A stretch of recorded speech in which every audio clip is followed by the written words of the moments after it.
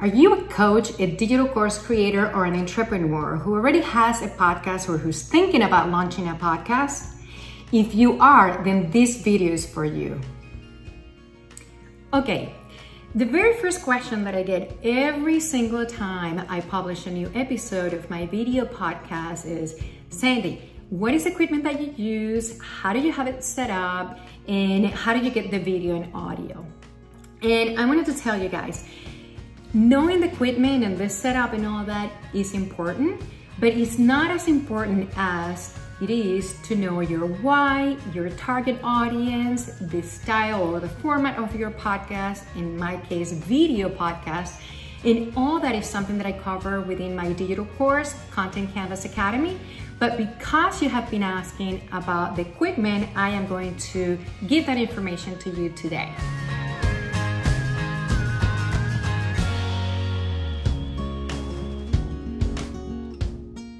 All right, so the very first thing that I do, I separate the equipment into four different categories. Instead of saying lights, camera, action, I actually say lights, cameras, mics, software, okay? So let's go through those one by one and I can show you all the equipment that I use and how I have it set up. So the very first thing with the lights, I use three different lights. The first one is called the Limo Studio Light, and i will show you in a minute uh, what that one looks like. But basically is a directional light that I put with an umbrella on one side of my face. And when I show you the setup, you'll see why. Is because on this other side, I actually have natural light from the window. So this side of my face has enough light, but this one, if I don't use that light, I would actually have a, a darker side or a, a, shadow, if you will. So it's important to make sure that you find balance uh, for the light when you are setting all this up. Uh, the second light is called the Neewer Ring Diva light, okay? And that one usually I have right in front of me. That is why you see that little circle in my eyes. And um, this is the one that, you know, the Kardashians actually made it really famous because that is what they use to uh, get their pictures taken and their photos and they look beautiful. They actually make you have beautiful natural glow on your face. And the third light that I use is exactly the same as the big Diva light, but it's actually a portable one, okay? And it has a clip, and this one you put right on your phone, and then you can turn it on, as you can see, and it has different lights um, levels, if you will. And then um, it's really good when you are out and about or when you're doing an interview that is off-site, um, and also when you are taking selfies, etc.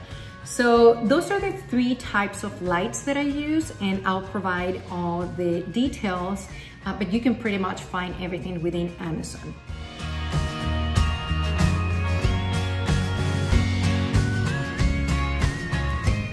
Now, let's go on to cameras. So the very first camera that I use is a Logitech camera and it's a webcam. And that one I put right on the top of my computer screen. So that way every single time that I'm doing a video podcast, that one is directly recording into the software that I use to do my interviews, okay? And there is different versions. The one that I use is the C930E. Now, the next one is your good old, good old iPhone, okay? And maybe you have a different phone, not an iPhone, but a phone sometimes can be your best friend because you can use that camera and not even need any of the other cameras to record your videos, okay? So, in actually, as a matter of fact, that is how I started my video podcast. I was just recording directly from my phone. All right, and the last camera that I use, and this is uh, what I call camera number three. So I have camera number one, the Logitech, number two, my phone, number three, this um, stationary camera, which is a Nikon D850, okay? This is totally option optional for you if you have a SLR camera that you want to set on the side.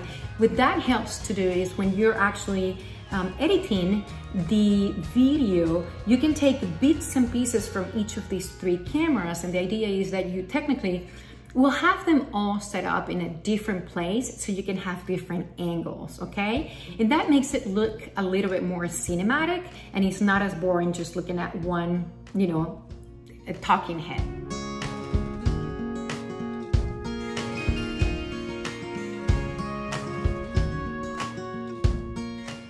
All right, the next things are the mics. And I have one right here, as you can see. This is the Blue Yeti mic.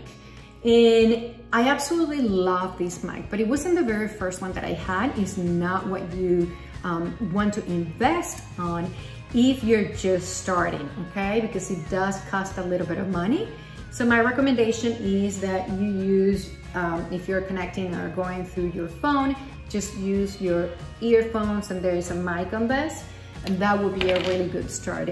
And really about all this equipment, my recommendation is that you don't make that investment up front. Like just get the basics first and see if you're willing and able to stay committed to release episodes on a weekly basis and also to find out if it's really something that you like.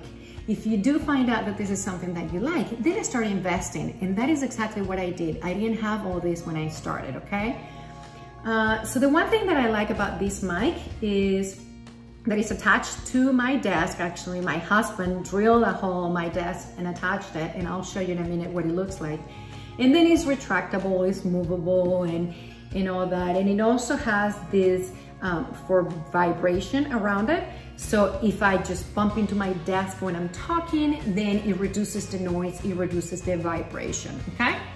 So that, that is one that I use. Now the other one is a Rode um, uh, lavalier mic. In this one, actually, you can hook up directly to your phone or to your computer. And you basically just put it on your clothes and you can talk and actually I have two of these ones in case that I'm doing an off-site interview so that way I can ensure that the person that I'm interviewing also has as good as a sound or um, voice, digital voice as I do, okay? Um, so that's, that is the second one. And then the third one that I have is a Rode mic and I have that one at the top of my um, SLR camera, okay? So as you can see, I have these three audios and anytime that I'm recording, just the same way that I have the three cameras, I can capture just in case, so you can have a backup in case of an emergency, all right?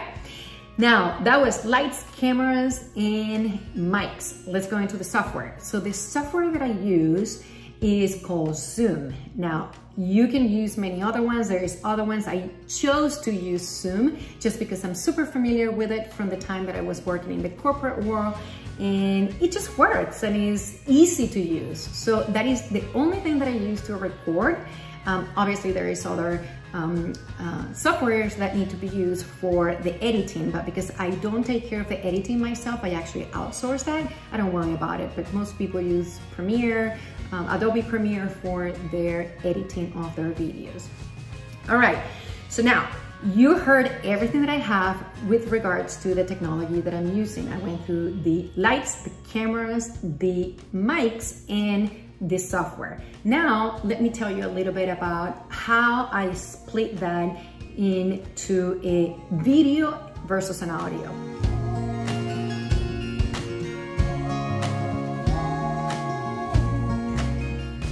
So basically what I do is once everything is recorded, I take the recordings from all three cameras, okay? Remember from the Zoom that I recorded with the Logitech, from my phone, as well as the um, SLR. And then what I do, um, I upload those for my editor, all those videos for my editor, and I send those to him. And what he does is the Zoom one actually gives you audio separate from video.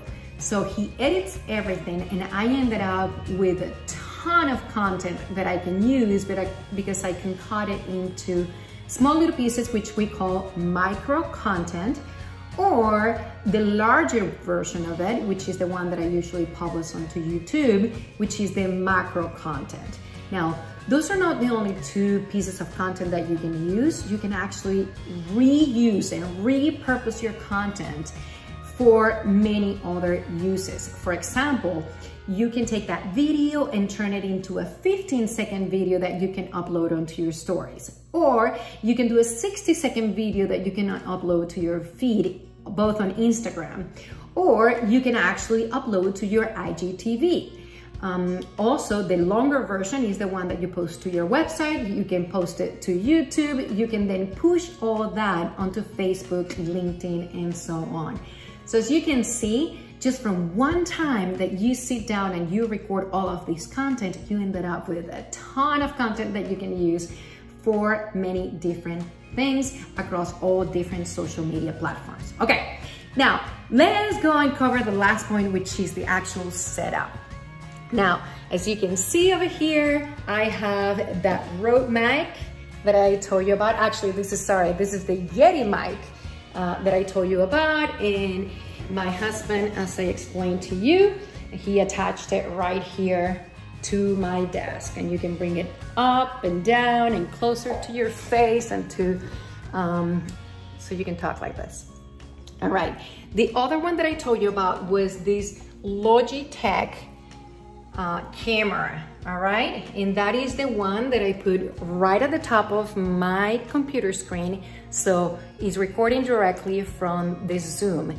And then the last camera that I told you about is this one right here, which is my Nikon camera, which as you can see from here, is technically recording from that angle. So this camera is recording from my right side, that camera is recording from my left side, and then this camera is typically recording straight. So different angles to give it that cinematic look. Now about the lights.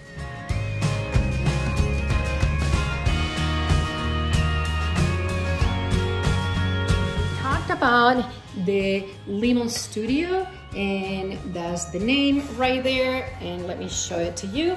It comes with an umbrella. That is the light. I actually ended up buying a bigger bulb so I, it, it gets brighter because I get a lot of light. Remember I told you that I have that window on the right side of my face. As you can see when I'm sitting here I have that window on this side of the face so I get a lot of natural daylight but that one basically is here on the left side. And as you can see, you can see that glow comes from my left side. And then I told you about the Diva light and there is the Diva light, as you can see. Um, so those are the three cameras, those are the three lights. And then for the mics, I told you about this one. I already showed you this one. Oh, and I forgot to show you about the Rode mic which is right on top of the camera right here. So as you can see, you can see it from there. You saw now all three mics as well. So I really hope this was helpful to you. You now have my secret. You have my setup. I welcome you here to my house, to what I call my studio, my office. So you can also set up your studio so you can start recording video podcasts right now. Nothing's stopping you. You have everything that you need in order to share your voice and share your message with the world. Now, if you are interested on learning more about how to launch, how to get ready, and how to promote a video podcast, I would love for you to join me on my digital course, Content Canvas Academy. The registrations will be opening soon, so we have the wait list. Please go to the link in bio and sign up to be the first one to find out when we open the doors for registration. I really hope to see you there.